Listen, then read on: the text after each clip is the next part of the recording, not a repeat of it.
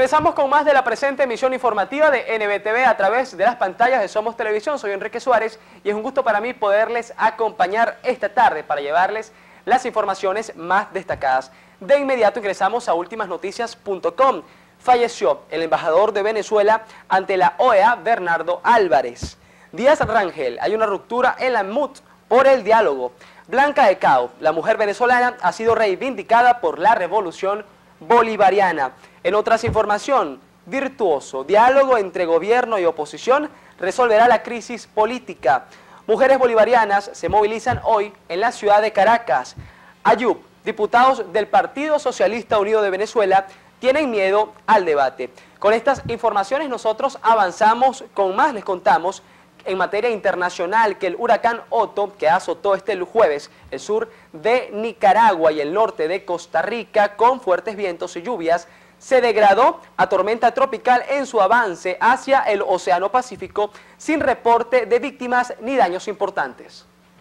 El huracán Otto, que se alejaba hacia el Océano Pacífico por el noroeste de Costa Rica, tenía vientos máximos sostenidos cerca de 110 kilómetros por hora, con ráfagas más altas. Es de resaltar que en las próximas 84 horas se prevé un debilitamiento lento adicional. Esto según el último informe del Centro Nacional de Huracanes de Estados Unidos con sede en Miami. El sistema lluvioso que se está debilitando rápidamente aún está provocando vientos y lluvias intensas a su paso por el noroeste de Costa Rica.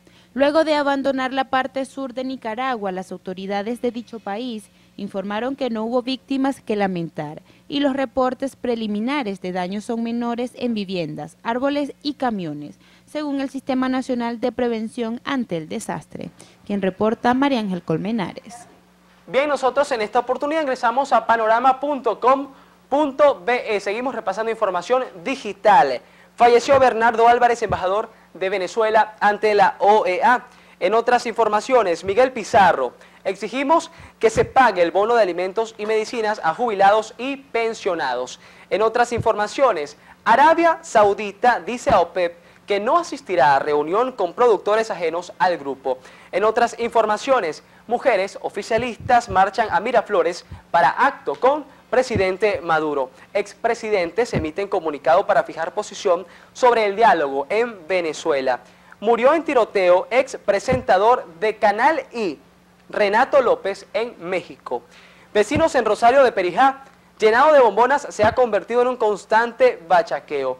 En otras informaciones, hayan 32 cadáveres en fosas clandestinas en México. Nosotros con esto avanzamos con más en materia internacional. Las autoridades de salud de la ciudad colombiana de Barranquilla advirtieron sobre el aumento de casos de mujeres venezolanas embarazadas que llegan a la ciudad para que les atiendan en el parto. La secretaria de Salud desde la Alcaldía de Barranquilla, Alma Solano, señaló que en lo que va de año 51 pacientes han sido atendidas por los servicios de salud del distrito de Barranquilla. Acotó que relacionado con extranjeros esta cifra no tenía antecedentes. Cabe destacar que las venezolanas utilizan los servicios de salud pública a pesar de no estar afiliadas a ningún régimen de seguridad social. Según Solano, con la situación compleja del país en materia de atención en salud, podría seguir aumentando considerablemente el número de casos.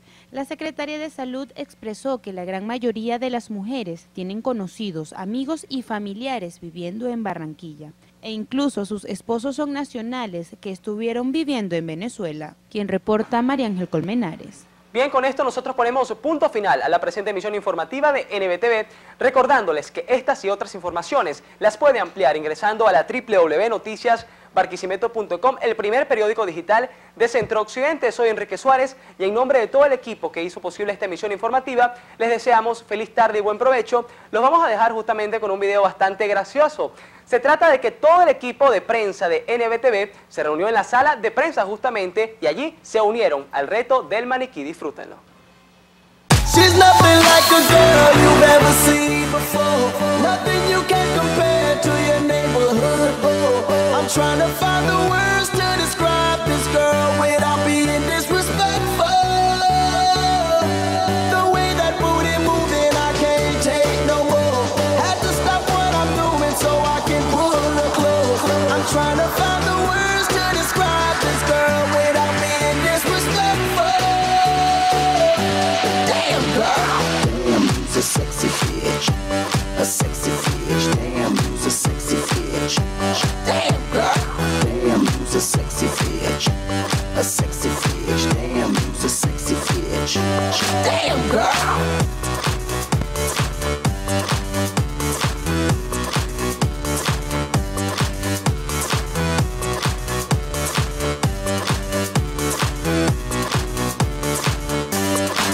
Yes, I can see ya. Cause every girl here wanna be ya.